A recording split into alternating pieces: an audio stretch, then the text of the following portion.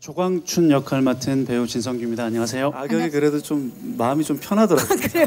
아, 마음이 편해요. 네, 다시 한번 돌아오니까 감독님 품에 다시 악역으로 활개를 칠 수 있겠구나라는 생각. 악역이 마음이 편하다라고 고백을 해주셨습니다. 범죄 도시의 위성락을 보자면 어, 이유 없이 잔인하고 그가 무도했던 느낌이라면 어, 이번에 롱리브 더 킹의 조광춘은 이유가 있는 어, 그래서 어떻게 보면 어쩔 수 없이 저렇게 할 수밖에 없겠구나라는 좀 그런 사정이 있는 그런 그런 악역을 악역인데 저는 이제 감독님하고 얘기하면서도 좀 광춘이가 어떻게 보면 악역인 것 같은데 되게 좀 마음이 가는. 마음이 좀 가고 좀 짠하기도 하고 허당 짓을 한 건 아닌데 허당 짓이 돼버리는 약간 그런 좀 마음이 가는 좀 그런 느낌이었으면 좋겠다 그래서 저도 최대한 그쪽으로 많이 생각하고 표현하려고 노력했습니다.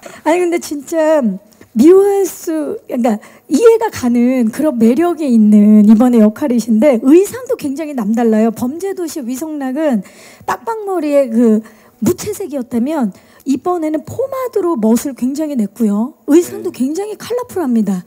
네, 일단은 그 이유라는 게 사실 열등감과 뭐 질투심 그리고 이 세출에 대한 어떤 그런 질, 질투심, 라이벌 의식.